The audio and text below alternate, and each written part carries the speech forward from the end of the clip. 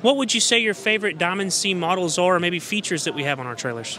So my favorites are absolutely the F Max models. Okay. Um, I love that they're light and they're strong, they're durable, they're just overall a very incredible trailer, and they get the job done better than better than most. I would say probably uh, several of them. Uh, dump trailers have, are definitely one of our. You know, we love the the looks of them, the quality, the weld quality. Um, and then we specialize a lot in the gooseneck side, so that's been always um, the hydraulic dovetail, um, the big, you know, more commercial side of stuff mm-hmm. has been great for us. Definitely the F Max engineered beam, love it. Um, I just can't say enough good things about it.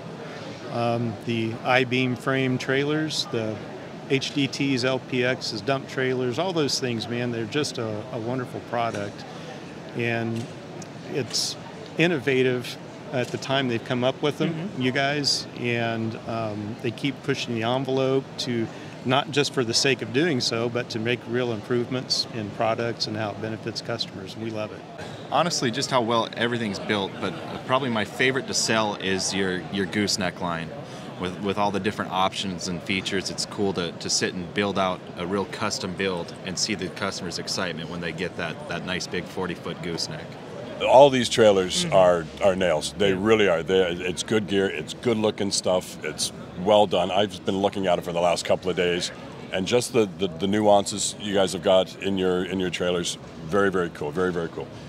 Um, it's all just good stuff. I don't know what. Uh, no man. You know, I, I, will say this though: the green trailer. Mm-hmm with the uh, with the pop up toolbox. Yeah, our HD our HDT. It's an equipment trailer. Right. No one else is doing that, man. That's ours. So. Yeah, and that's what I caught. I've done a few laps around here over the past yeah. few days, and I have not seen anything like that. I thought that was really, really, really great. The way it's so safe to open up, it's the click of a button. Yeah. You haven't got to muscle it up. You know, you just release that thing, up it comes. Your winch is front and center.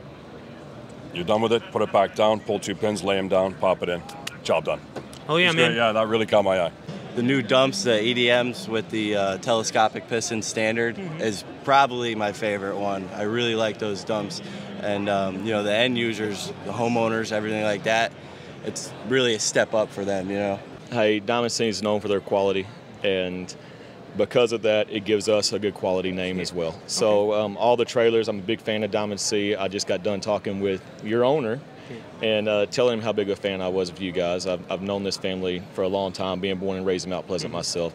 So anything I can do to help this company is really good.